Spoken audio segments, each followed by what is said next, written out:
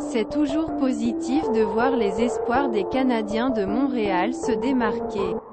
Cependant, il y en a tellement maintenant qu'on peut commencer à se demander lesquels auront vraiment leur chance et leur place dans la LNH.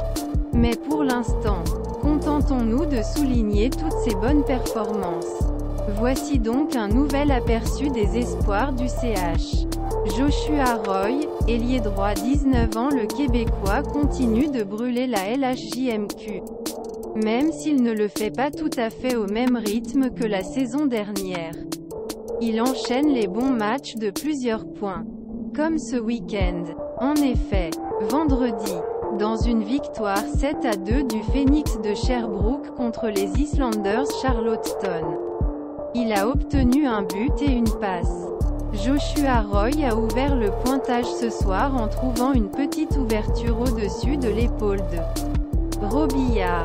Et hier, il a récolté un but et deux passes dans une victoire 4 à 1 sur la meilleure équipe de la LHJMQ.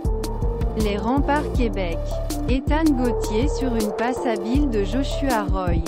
C'est donc une très bonne fin de semaine pour Roy qui porte son total de points à 77 en 46 matchs.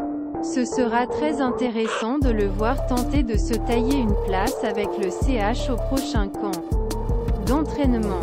Lane Hudson, défenseur gaucher 19 ans Mon collègue Félix Forget vous a longuement parlé de Lane Hudson et de ses exploits hier. En effet, Hudson est proche d'un record de Brian Leach actuellement dans sa saison recrue dans la NCAA. Après une soirée de deux buts ce soir, Lane Hudson a amassé 41 points en 32 matchs joués cette saison.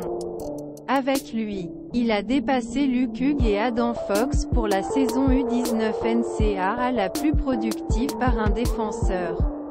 Depuis Brian Leach en 1986 à 1987. Scott Wheeler 4 mars 2023 et bien. Hier, Hudson a ajouté à cela alors qu'il disputait son dernier match de la saison régulière. Dans une victoire 2 à 0 l'Université de Boston contre l'Université Providence. Eh bien, Hudson a récolté deux passes décisives. Ses 43.33 matchs en font le meilleur défenseur recru U19 de la NCA à 30 ans. Nous prendrons une avance 1 à 0 en deuxième période grâce au quatrième but de Army la saison. Voici un aperçu du but de Stevie O, qui est son quatrième point du week-end.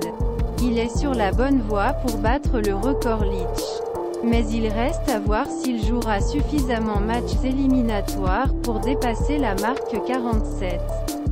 Point Leach.